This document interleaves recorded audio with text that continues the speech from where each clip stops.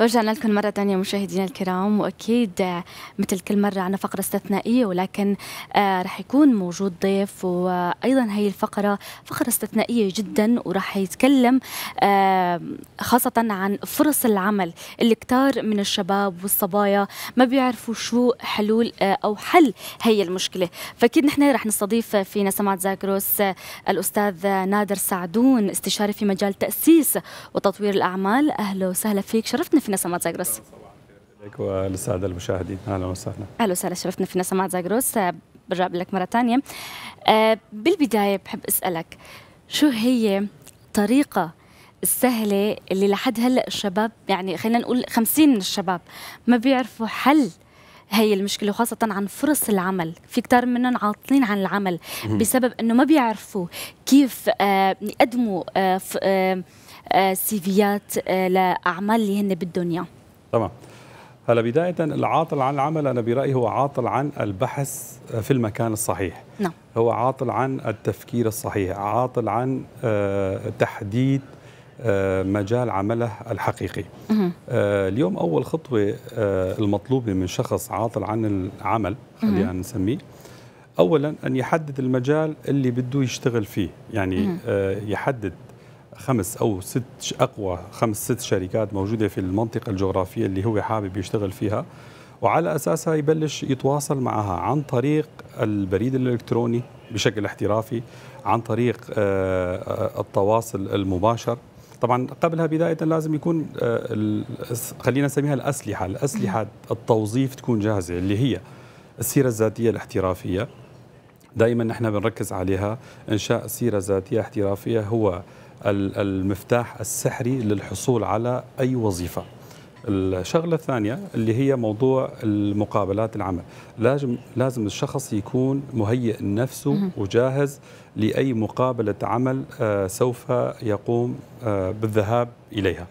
فالنقطتين هدول البحث في المكان الصحيح البحث عند الشركات الصحيحة التي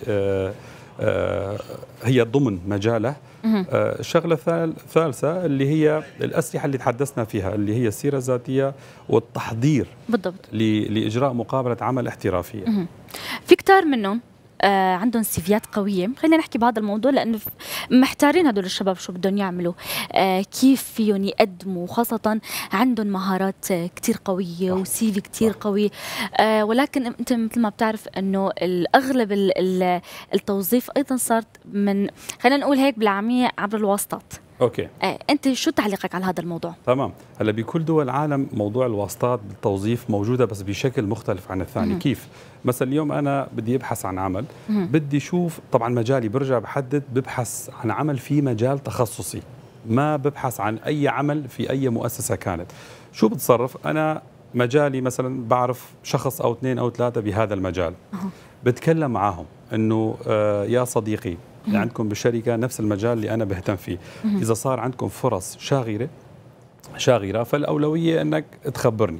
هي نسميها جزء من الواسطة بس مو بمعنى الواسطة بس المعروف والشائع عندنا بالمنطقة إنه إذا ما عندك واسطة ما راح تتوظف. هذا الشيء مرفوض بالضبط هي شائع قاطعا يعني غير صحيح تماما غير صحيح. مم. أنا بشتغل بمؤسسة ممكن اعين حدا بعرفه بس حدا بعرفه يكون مؤهل لهي الوظيفة هي. فالعاطل عن العمل كمان نفس الشيء لازم يسأل ويدور ويعمل علاقات ويحضر مؤتمرات ويحضر الأندية الاجتماعية الواجبات الاجتماعية. لازم يختلط مع الناس لازم يعمل علاقات ليكون هي الواسطات المفهوم الواسطة اللي موجودة بعقله. إنه لولا هي ما فينا نتوظف. هذا الشيء غير صحيح تماما. الشخص حضرتك ذكرتي في بعض الناس عندهم سيفيات احترافية عندهم مهارات فظيعة. بس للأسف تجينا بعض السيفيات بحكم طبيعة عملي. بجري كثير مقابلات عمل لمؤسسات كثيره بعدة مجالات. بتجينا سيفيات بحكم خبرتي بعرف هذا شخص عنده مهارات فظيعة بس مو مو موضحها مو موضحها بالسي في. عاملها بطريقة غير احترافية. أنا لهلأ بالمنطقة يمكن ما شفت سيفيات احترافية بتتجاوز ال 5% أغلبية السيفيات اللي نحن بتجي بين إيدينا غير احترافية ابدا. ما بيتكلموا عن التخصص تبعهم. بالخبرات بيكتب وظائف من كل حد من وصوب. يعني شخص ممكن تخصصه يكون بالمجال التكنولوجيا كاتب إنه آه، أنا عندي خبرة سنة ونص مشتغل بمطعم أو مشتغل بفندق استعلامات أو أو أو. فورا X يعني أي شخص ليش؟ لأنه هن ما ما شرحوا بال CV بالضبط. الشركات بدها الأشخاص المتخصصين في آه، في في مجال معين. يعني ما في شركة بالعالم بتطلب موظف multitask superman ما في. بيطلبوا محاسب بيطلبوا HR بيطلبوا مدير تسويق بيطلبوا بيطلبوا قسم آه، موظف مبيعات. فاليوم انت بالسيرة الذاتية لازم تكتب كل ما يتعلق بالتخصص اللي انت معلن عنه. يعني انت اليوم شهادتك دراستك في مجال المحاسبة كل الوظائف اللي أنت مشتغلها بالمحاسبة بتكتبها بالخبرات. ما في داعي تكتب أنك مشتغل بنادي رياضي أو مشتغل. هي هي الأشياء بتأثر بتأثر على السيرة الذاتية. يعني هي من النقاط المهمة كثير أشخاص كثيرة ال CV okay. آه، تم فرز السي فيات انطلب هذا الشخص للمقابلة. أثناء المقابلة هو غير مهيئ تماما. المقابلات معروفة موجود يمكن 20 إلى 30 أو 40 سؤال عالمي. أسئلة ثابتة.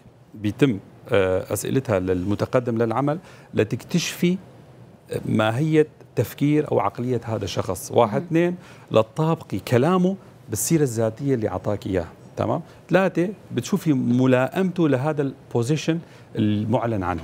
بالضبط. كثير من الأشخاص بيروحوا على المقابلة بدون ما يعرفوا أي شيء عن تفاصيل هالأسئلة هي. بيجاوبوا بشكل عشوائي. فبيخسر فرصة كبيرة من العمل نتيجة عشوائيته بالإجابة على أسئلة المقابلات أنا بشوف أنه يمكن هذا الحديث تبعك تكون تأثير كثير كبير عن بعض الشباب أو الصبايا خاصة معلومة جدا مهمة. ولكن نحن عم نشوف اليوم على عبر آه، ال social media آه، CV يات جاهزة بطريقة سهلة وبطريقة مشرحة أكثر فهن copy paste بينزلوا على مثلا ب save وا ال CV وبعدين هن بحطوا كل المعلومات تبعهم. برأيك هل هذا الشيء آه، فرصة جميلة بالنسبة لبعض الشباب أو هن إذا يشتغلوا على ال CV مثل ما انت ذكرت باحترافيه أكثر بيكون أنجح؟ برافو. هذا سؤال جميل جدا. آه، الطريقة اللي حكيتي عليها طريقة فاشلة جدا 100% ليش؟ تمام؟ بتعطل العقل أصلا عن التفكير. مم. الشخص اللي بده يعمل ال CV في شركات كثيره بتعمل CV بمبالغ جدا ضئيلة عندها قوالب جاهزة أو في بعض القوالب على مم. الإنترنت موجودة. آه بتحط بعض المعلومات بيفر بيفرز لك إياها. آه ما يعني روح الموظف مو موجودة بال CV. اليوم إنشاء CV سهل جدا. طيب شو هي روح الموظف؟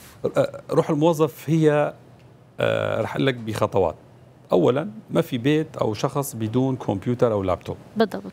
Microsoft Word هو الطريقة الأسرع. أبسط أبسط آه، برنامج يمكن حاسوبي هو Microsoft Word.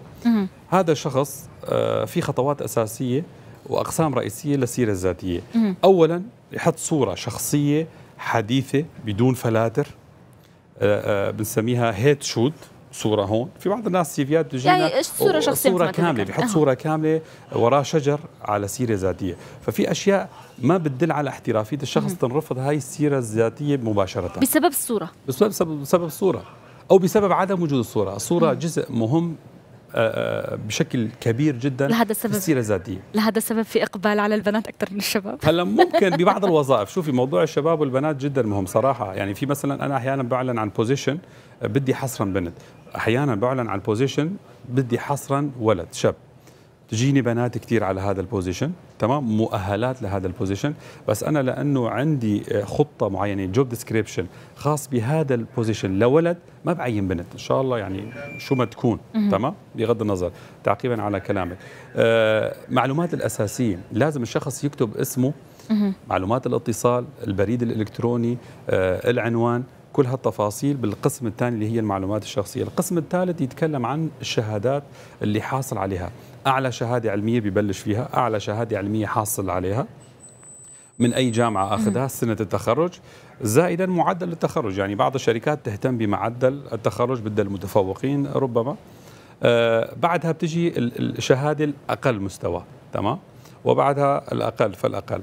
آه، القسم الرابع هي الخبرات العملية. اللي تحدثنا فيها بالبداية الأعمال اللي الشخص هذا مشتغلها بيكتب برجع وبركز بيكتب الوظائف المرتبطة بدراسته فقط ما يكتب أشكال ألوان بالخبرات العملية، الخبرات العملية بنقصد الأعمال اللي مشتغل فيها. كمان المصيبة اللي بتجينا بالسير الذاتية أغلبيتها بالمنطقة بتجي إنه أنا اشتغلت بالشركة الفلانية وبس فقط. المدة غير مكتوبة. فبيجي بعد المقابلة بنكتشف إنه مداوم 10 أيام بهالشركة هي وكاتب اسم شركة عظيمه. تمام؟ فاليوم الشركة اللي بدك تشتغلي فيها بتكتبي اسمها بشكل مفصل عنوانها ال website رقم الموبايل. تمام؟ رقم المدير. شو كان الوصف الوظيفي لك بهالوظيفة بهالشركة هي؟ أنا لازم أعرف. أنا لازم أعرف okay كنت شغال بهالشركة بس شو كان ال job description تمام؟ وشو هي المدة اللي اشتغلتي فيها بهالشركة هي؟ هي التفاصيل المهمة اللي أغلب الشباب ما بيعرفوها بيكتب بس مجرد أنا اشتغلت بالشركة الفلانية. بعد هالأمور بتجي الدبلومات الدورات الشهادات اللي أنت حاصلة عليها ضمن ضمن ضمن حياتك. حتى الأكاديميات يمكن الأكاديمية نحن حكيناها بالقسم الأكاديمي اللي فوق اللي هي الشهادات العلمية. بعدها بتجي الخبرات العملية بعدها بتجي موضوع الشهادات والدبلومات الأصغر. تمام اللي ممكن أنت عاملة دورة تي أو تي دورة آه، مبيعات دورة آه، آه، خدمة العملاء. هالامور هدول ممكن أنت حاضرة عدة مهرجانات تخصصية عدة مؤتمرات تخصصية فهالتفاصيل هي كلها تنذكر بهذا القسم؟ بعدها بتجي موضوع الشخصيات المرجعية. انت لازم بالسيرة الذاتية تبعك تكتبي أقل شيء شخصين مرجعيين. أنا لما بدي أسأل عنك تمام؟ ممكن مدراء سابقين. وعلى الأغلب يعني يفضل يكون مدراء سابقين لشركات آه، سابقة تمام؟ يكونوا موجودين. العنوان الاسم الوصف الوظيفي الرقم الموبايل. يعني أنا بقدر أتواصل مع هدول. بالضبط. فهي الأبسط ما يمكن إنك تعملي سيرة ذاتية يمكن ما تطول معك نص ساعة. تمام؟ بس أنت عملت جلسة عصف ذهني لكل ما تملكيه من خبرات من علاقات من أي شيء في هي الصفحة هي آه، موضوع السيرة الذاتية ممكن بعض الأسئلة بتجينا كم صفحة لازم تكون؟ مو شرط تماما. ممكن صفحة ممكن اثنين ممكن ثلاثة ممكن عشرة ما في أي مشكلة. يعني حسب الشيء اللي أنت تمتلكه. تمام؟ فهي يعني فينا نقول شرح آه، مبسط عن كيفية إنشاء سيرة ذاتية احترافية بأسرع وقت ممكن وتطلع بشكل احترافي وتبين شخصية ومهارات هذا الشخص بالسيرة الذاتية. بالضبط. أكيد نحن رح نحكي ونكمل عن هذا الموضوع ولكن مشاهدينا الكرام نحن رح نروح فاصل. عن السي في بشكل عام وخاصة نحن عم نشوف اليوم بأعمار آه تحت ال 18 واللي هو الشخص القاصر. بنلاقي كمان بيعمل سيفيات سيفيات عفوا وكمان بيقدموها للشركات. برأيك آه، هل هذا آه، فرص جميلة لبعض الشباب بيحبوا يشتغلوا وهن أعمارهم صغيرة ولا آه، بتلاقيها صعبة بالنسبة لهم؟ أوكي. هلا في أوروبا وأمريكا وكندا والدول المتقدمة جدا هناك مشاريع أو معسكرات صيفية لهالأعمار هدول. يعني بيعلموا الشخص وهو في في المراحل هي اللي حضرتك ذكرتيها بسن المراهقة ممكن من 12 سنة ل 18 أو ممكن بعض الدول من 10 سنوات ل 18 سنة. بيعلمون كيف يبدأوا آه، يدخلوا على سوق العمل. تهيئة تهيئة. حلو. ففي مشاريع صيفية في مشاريع آه، آه، ممكن نددها شهر أو اثنين أو ثلاثة. أنت ما بتشوفها عشوائي يعني. لا لا لا لا أكيد. هاي الشيء جدا مهم. آه، عقلية الاستثمار نسميها أو عقلية العمل لازم تعطيها لأطفالك بالبدايات سن المراهقة. لازم آه، يتعلم الاعتماد على الذات. لازم يعرف كيف تدار آه، الأمور التجارية. لأنه بالنهاية البلدان ماشية عن عن طريق الاقتصاد. فلازم يدرك هالأمور. ما يتفاجئ بعد التخرج بسوق العمل. ما في فرص عمل ما في عنده خبرة بالمقابلات ما في عنده خبرة بالسي في ما عنده أي خبرة عملية. فأنا بالعكس هذا الشيء بشجع عليه وبأيده 100% أكيد نحن رح نحكي كمان شوي عن مشاريعك. أيضا أنت عملت أو أنجزت كتاب بعنوان Dollar Man. نعم. أو رجل دولار. نعم. آه، احكي لنا شوي عن ملخص هذا الكتاب. ليش بالضبط Dollar Man؟ Okay. هلا ليش Dollar Man؟ بصراحة دولار هي أقوى عملة في العالم. بالضبط. وكلمة دولار إلها وقع خاص على مسمع جميع البشر. حسيك ثقيلة يعني. يعني ثقيلة بس حلوة. آه يعني أك يعني أسماء العملات لما بدك تعملي استبيان أقوى كلمة مؤثرة آه، غير قوتها الاقتصادية هي رقم واحد. آه، كلمة مؤثره هي كلمة الدولار تمام؟ فتم اختيار اللغة آه، تم اختيار الكلمة بناء على هاي المعطيات. ليش دولار مان؟ ليش رجل الدولار مثل ما ترجمتيها؟ دولار مان هو يعبر عن عن حالة عن عن شخصية مشابهة للشخصيات اللي كلنا بنعرفها سوبرمان و Iron Man و Spider-Man.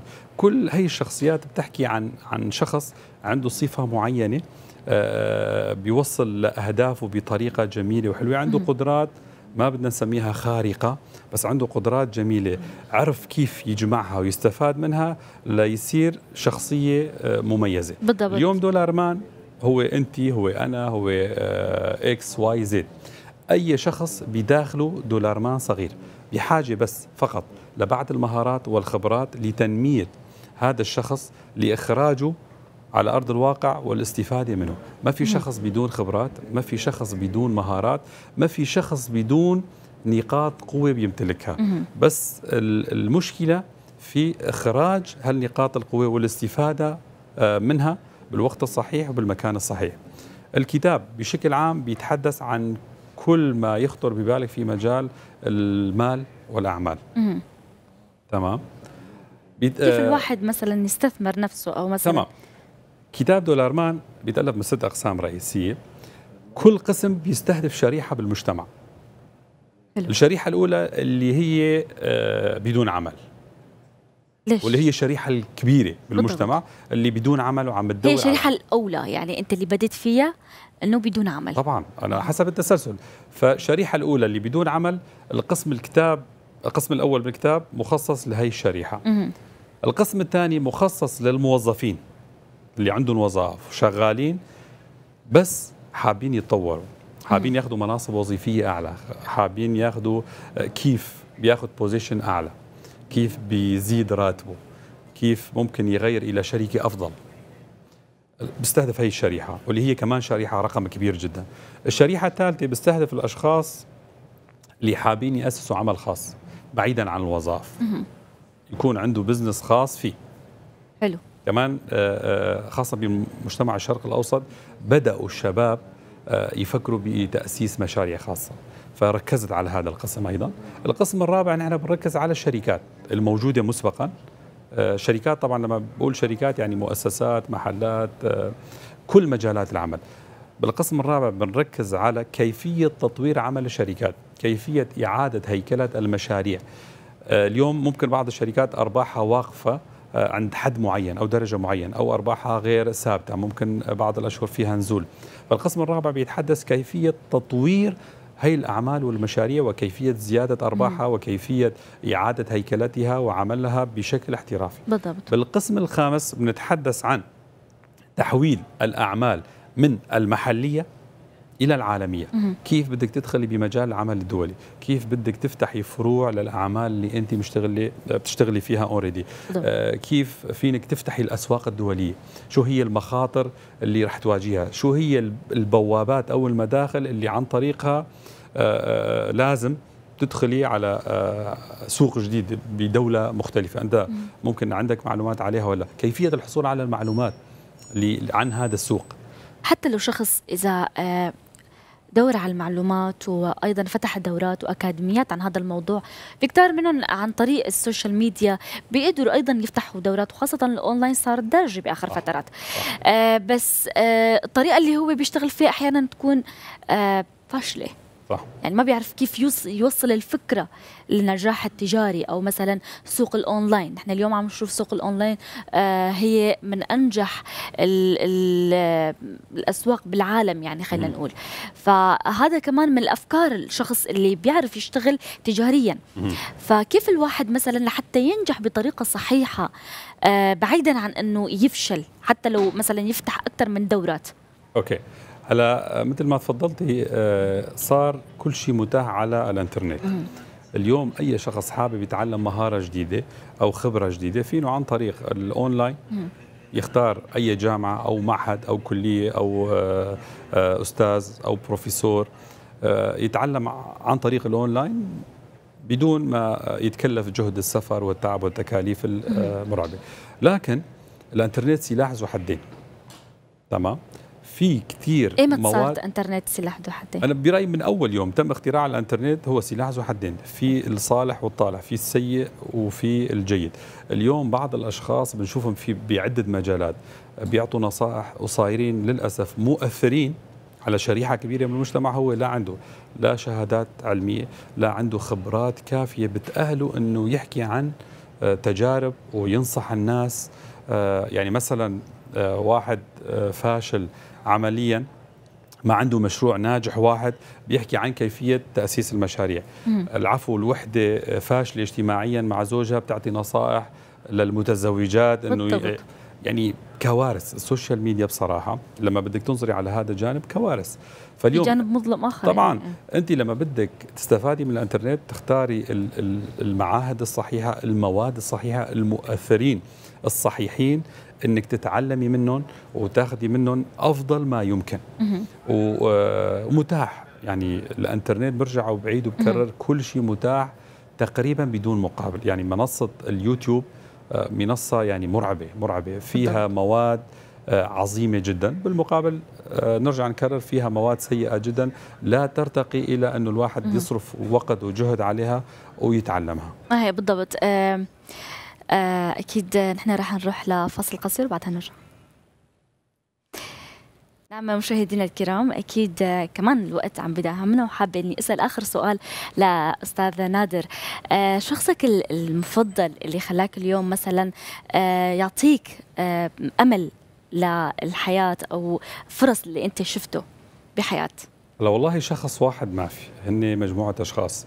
وأنا بمقدمة كتابي أكثر منه عندهم مؤثرين خاص يعني. آه بالضبط. أنا بمقدمة كتابي الإهداء الخاص اللي أهديته ذكرت فيه الأشخاص اللي أثروا بحياتي آه وتعلمت منهم كثير شغلات اللي هي المرحومة والدتي الله يرحمها آه أبي الله يطول بعمره آه أخوان آه أخواني شباب أخواتي زوجتي أطفالي آه وصديق عزيز مقرب علي. هدول المجموعة هن اللي كان لهم يعني ما يقارب ممكن 80 90% بتكوين شخصيتي.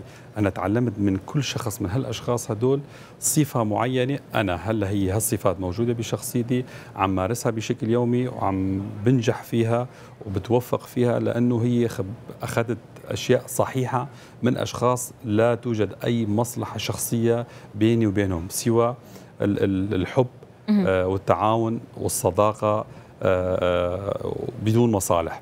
فهدول هم الأشخاص اللي كونوا شخصيتي وأنا متأثر فيهم وأنا واثق رح أبقى متأثر فيهم ورح أبقى آه، شغال على هي المبادئ اللي أنا تعلمتها منهم. نعم أستاذ نادر سعدون الاستشاري في مجال تأسيس وتطوير الأعمال. شكرا جزيلا في نسمع شكرا. شكرا لكم. شكرا.